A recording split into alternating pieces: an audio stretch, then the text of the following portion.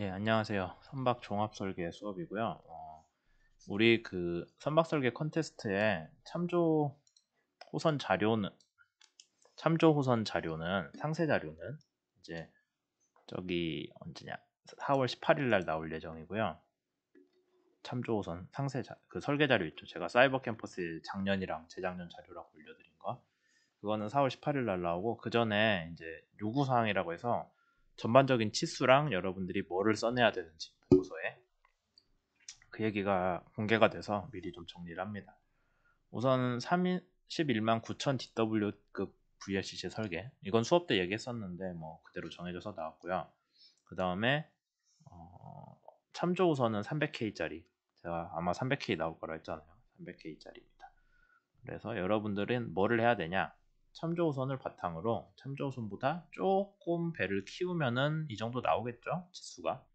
뭘 키우냐면은 보시죠. LOA는 배 전체 길이에요. 걔는 333.0m고 참조우선이 그 다음에 여러분들도 최대 333m라고 되어 있으니까 혹시라도 음, 그 각 조별로 LOA를 좀 키우는 조가 있을 수도 있어요.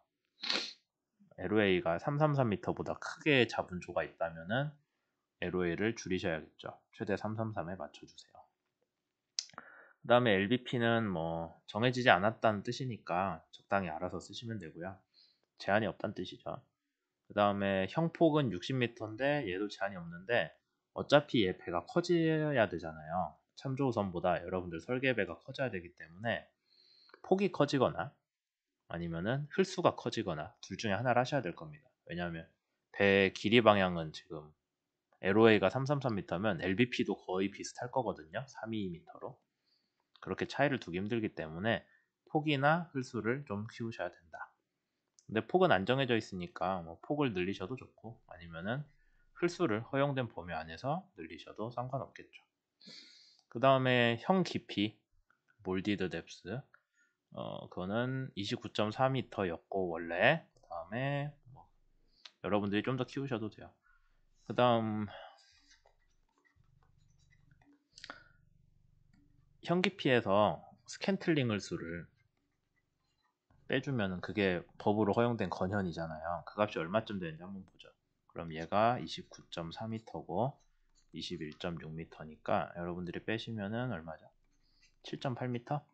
여러분들 그 참조우선 자료가 나올 때 건현 계산 자료 나오거든요. 아마 그러면 건현 계산 값이 7.8m라고 나올 거고 지금 여러분들 이거 배가 별 설계선이 참조선이랑 크게 차이가 없어요 사이즈가.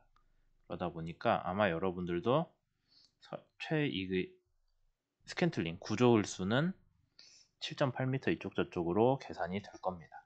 해보면은. 어, 건형 계산하는 거는 이미 올렸긴 했는데 아직 본 수업에서 다루진 않았거든요. 근데 어, 그때 가서 한번 따라서 해보면은 대충 7.8 아니면 우리 배가 조금 크니까 한 8m 그 비만으로 나올겠네요. 관련이 이 정도.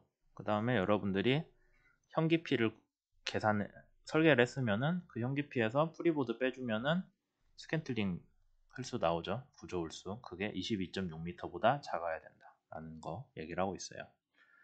그러면 음, 이제 대충 요걸 가지고 전체 배수량은 아직 우리가 모르잖아요. 그걸 한번 추정을 해봅시다. 여러분들 저항 추진 책에서 어, 그림 5.3인가? 그게 뭐냐면은 프루드 수에 대한 CB거든요. 근데 지금 우리가 참조선 주어진 게 속도가 15.3노트예요. VLCC 치고 조금 빠른 편인데 제가 수업 때 14.5노트 일반이라고 했잖아요. 14.5. 근데 15.3이 나왔으니까 좀 빠른 편인데 어쨌든 프루드 수 계산하면 0.14 정도 나오고요. 그 다음에 CB에다 썼네. 프루드 수가 0.14 정도 나오고 CB가 그러면 대응되는 한 0.82에서 0.83 정도 나와요. 그러면 0.83 정도 한번 추정을 해봅시다. 우선 LBP 3위 폭 다음에 디자인 흘수 가지고 하죠 디자인 흘수만큼 짐을 실는 게 우리 설계니까 이렇게 하면 396 어쩌고 저쩌고 나오고 12를 곱해줘야 0.83 그러면은 328, 뭐 330 대충 이 정도 나오거든요. 근데 얘는 뭐냐면은 어, 부피 배수량이에요. 그렇죠? 부피 기준 배수량인데 우리가 DWT, LWT 하는 건 무슨 단위예요? 톤이잖아요. 무게로 바꿔줘야죠. 그러면 328 328000의 부피에다가 소금물 밀도 1.025를 곱해 주시면은 336 어쩌고 저쩌고 나오죠. 그러면은 저게 배의 만제시의 무게가 되는 거고 거기에서 30만이라는 DWT를 빼주면은 LWT가 나오겠죠. 그럼 여러분들이 뭐를 할 수 있어요? 아, 이 배의 LWT는 한 36,000톤 정도 되겠구나.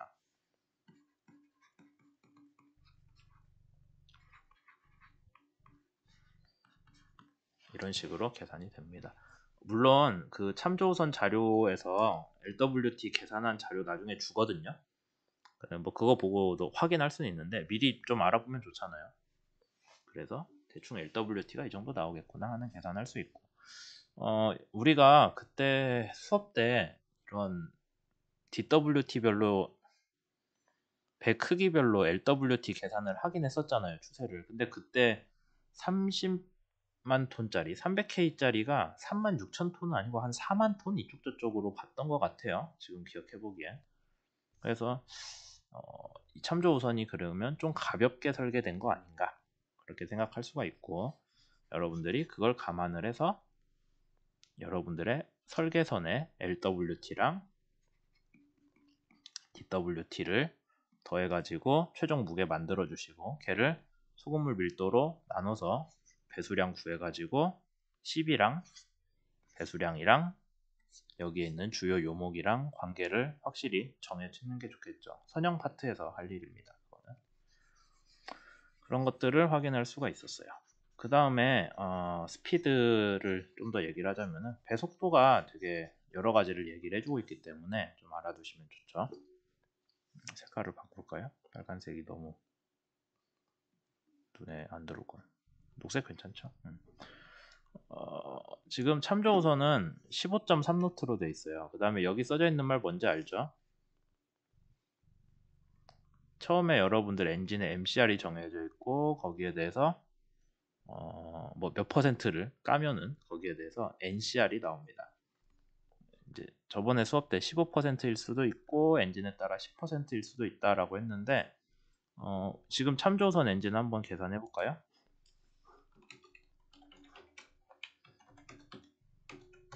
0.85죠. 그러니까 15% 깠다는 뜻이에요. 10%로 안 했네요. 우리도 10%로 하면 안 되겠죠? 따라해야 되니까.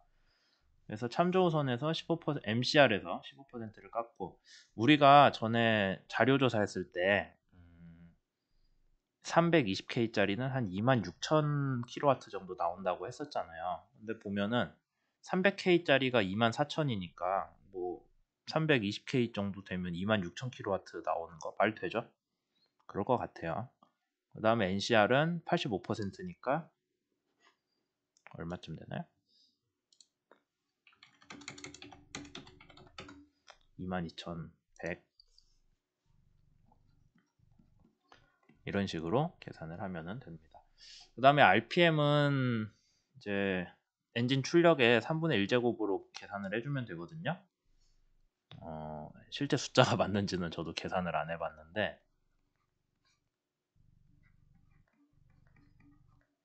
이거에 3분의 1제곱 곱하기 원래 RPM이 65.7이잖아요. 최대 RPM이 이렇게 계산하면은 어, NC 할 때 RPM 구할 수 있거든요.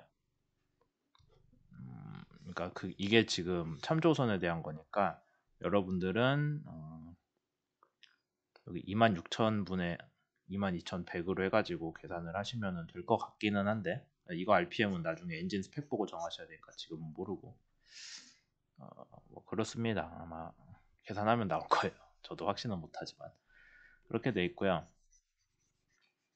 그 다음에 여러분들 배속도가 13.5노트잖아요. 아, 15.3노트. 15.3노트고, 그 다음에 운항 거리가 23,100 nautical mile이래요. 근데 어차피 노트라는 단위가 1 nautical mile per hour거든요. 그러니까 1시간에 1 노티컬 마일을 간다는 거기 때문에 그냥 23,100이라는 최대 거리를 15.3으로 나눠주면은 배가 몇 시간 동안 항해할 수 있냐가 나와요. 걔를 24로 나눠주면 며칠 동안이 되겠죠.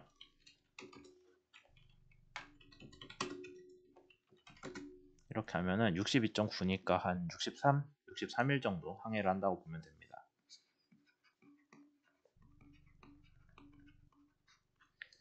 63일쯤 항해를 한다 라고 계산이 되고요.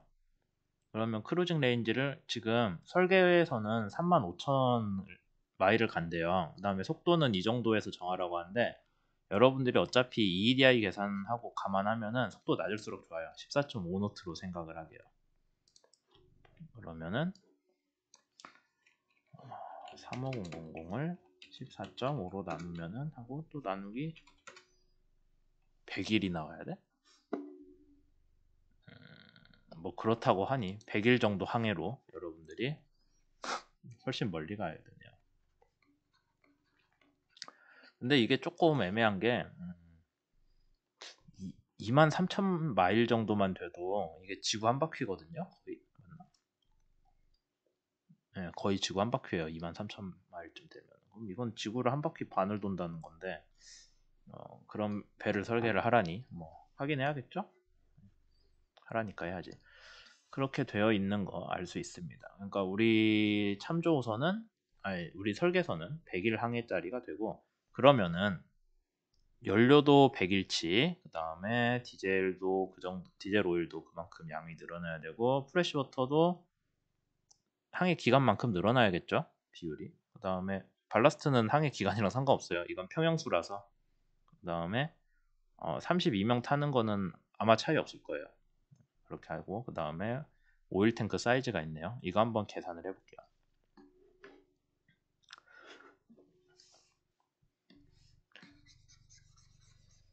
네, 여러분들이 저기 그 엔진 얘기했을 때 수업에서 엔진 얘기했을 때 일반적으로 SFOC가 한 155 그램 퍼 킬로와트 아워라고 얘기를 했었던 것 같아요. 이게 무슨 뜻이에요?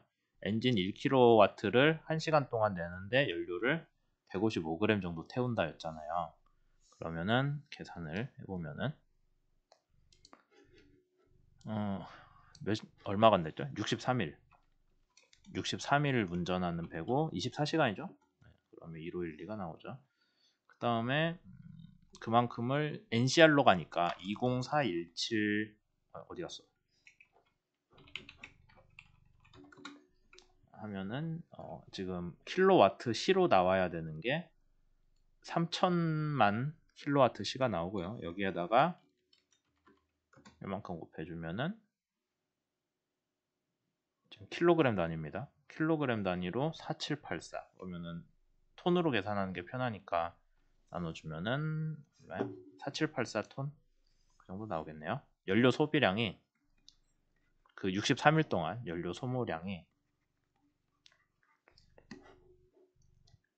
계산을 해보니까 47, 4785라고 합시다. 이만큼을 쓴다 라고 되어 있네요. 그 다음에 여러분들한테 저기 사이버 캠퍼스에 올려놨는데 어, 배가 쓰는 연료는 그냥 F라고 써져 있네. 되게 heavy fuel oil이고 걔 밀도는 0.9예요. 0.9 톤 per 세제곱미터겠죠. 그걸 계산하면 연료 탱크 사이즈가 나옵니다. 그럼 5316이 나왔네요. 그렇죠? 그러니까 5316 세제곱미터의 연료를 떼워서 63일에 항해를 한다는 뜻이에요. 아까 5316 한번 볼까요? 음, 연료 탱크 크기가 5400 세제곱미터니까 거의 맞죠? 5316 추가로 여러분들이 고려해 줘야 되는 게 연료 탱크 가득 못 채운다 했잖아요 98%만 채운다고 했잖아요 그렇게 하면은 5425니까 거의 맞죠? 네. 그래서 연료 탱크 크기는 여러분들이 확인을 할 수가 있습니다 그럼 여기에는 어떻게 해야 될까요? 그 fuel oil consumption이 뭐 155구 정도 된다고 가정하고 엔진 따라 다르지만 그거 곱하기 항해일수 100일에다가 24시간 해주면은 얘가 몇 톤의 연료를 쓰는지 나오죠. 100일의 항해 동안. 그 다음에 그거를 연료의 비중인 0.9로 나눠 주시고 그 다음에 또 그 연료 탱크 채우는 비율인 0.98로 나눠 줄 수 있겠죠. 잠깐만 또 뭘 해야 되냐? 여기에다 아, 엔진 동력도 곱해줘야 되네. 그럼 아까 우리가 대충 얼마 한다 했죠? 2천 2만 2천 얼마인데? 계산하면서 얘기를 합시다. 네. 계산기 크기는 안 키워지네. 어, 봅시다. 우리가 지금 NCR이 26,000 생각하고 있어요. 그 다음에 0.85 하면은 NCR 나오죠. 22,100. 거기에다가 스페시, 어, 퓨어 로열 컨숨션을 곱해주면은 100, 155 곱해주시고, 그 다음에 100일 항해하고 24시간 항해하면은 연료를 그램 단위예요. 숫자도 안 세진다. 82억 그램이 되고 킬로그램 단위, 톤 단위, 8,200톤 정도의 연료를 싣고 가야 된다라는 거죠. 8,200톤을 싣고 가면은 거기에 대해서 음, 세제곱미터 부피로 바꿔주면은 나누기 0.9를 해주고요. 그 다음에 탱크를 100%못 채우고 98% 채우니까 또 0.98로 나눠주면은 9,321 세제곱미터가 나오네요.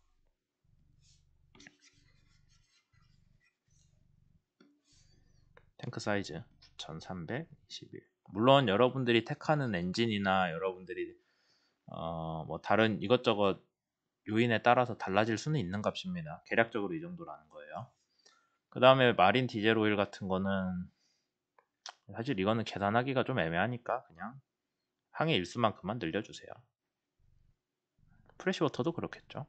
원래 프레시워터도 사람 한 명이 하루에 얼마씩 쓴다가 있거든요. 그거 가지고 계산을 해주는데 한번 역산을 해봅시다. 500이에요. 500 세제곱미터에 프레시 워터가 있고 이걸 63일 항해를 하죠. 그런 다음에 사람이 몇 명이요? 32명. 그러면 대충 한 사람이 하루에 250kg 정도, 200, 네, 50kg 아니면은 아니면 0.25 세제곱미터를 하루에 한 사람이 쓴다라고 하는 거죠. 그럼 곱하기 32 곱하기 100을 해주면은 우리가 원하는 프레시워터의 용량이 나오겠네요. 어, 뭐 이런 식으로 계산을 하시면 되고요. 제일 마지막에 카고 오일 탱크가 있는데 음, 요거는 어, 나중에 저기 그 참조우선 자료가 나와야 사실 제대로 계산을 하긴 하는데 왜냐면 카고 오일 탱크를 100% 채우지는 않은 경우들도 있거든요. 근데 일반적으로는 어, 여기 띄워놓긴 했는데 작년 아 2년 전 거 2년 전에 그 수, 에즈 막스 설계에 대한 그런 참조 우선 자료예요. 근데 어, 이게 지금 liquid transfer condition이 우리가 생각하는 화물 가득 채운 조건이라고 보시면 되거든요. 근데 어, 그 crude oil 탱크는 보면은 98%는 못 채우고 97% 정도 거의 빡빡 채우고요. ballast water도 아예 0은 아니고 1% 정도 1%예요 ratio니까 1% 정도는 채워요 그래서 조금만 물 채운다고 되어 있거든요 그렇게 계산을 하면은 얘를 한 97% 정도는 채울 수 있다는 거죠 계산 한번 해봅시다 그 다음에 저 원유의 밀도도 한 0.9 정도 잡거든요 그럼 거의 30만 나오잖아요. 그러니까 이거 계산은 막 거의 이 탱크는 97%쯤 채운다는 뜻이에요. 이제 제대로 그 디자인 을수까지 간다고 하면은 뭐 이런 식으로 해가지고 전체적인 치수들을 한번 쭉 검토를 해봤습니다. 뭐 물론 실제 값들은 좀 달라질 수도 있어요. 지금 아까 제가 요거 HF 밀도 0.9라고 계산을 하긴 했는데 지금 생각나는데 딱 0.9로 안 맞추고 다른 값 놓는 경우들도 있거든요. 그 여러분들 저기 수업 자료로 올려놓은 거에 보면은 EEDI 계산 예제라고 있는데 사이버 캠퍼스에요. 거기에 보면은 밀도를 뭘로 계산을 했더라? 헤비 퓨어 오일 밀도를 더 크게 잡았던 것 같아요. 여기 있네. 헤비 퓨어 오일을 991로 잡았거든요. 저는 아까 0.9로 잡았잖아요. 그러니까 이런 식으로 조금 다른 값들이 있기 때문에 우선은 이 정도다 라고만 알아두시고 참조선 자료가 나오면은 다음 주에 다 다음 주에 나오니까 참조선 자료가 나오면은 그때 확실하게 숫자들을 다시 한번 검토를 해보는 걸 추천을 드립니다. 뭐 물론 수업에서도 다루긴 할 거예요. 우선 여기까지 하고 다음으로 넘어갈게요.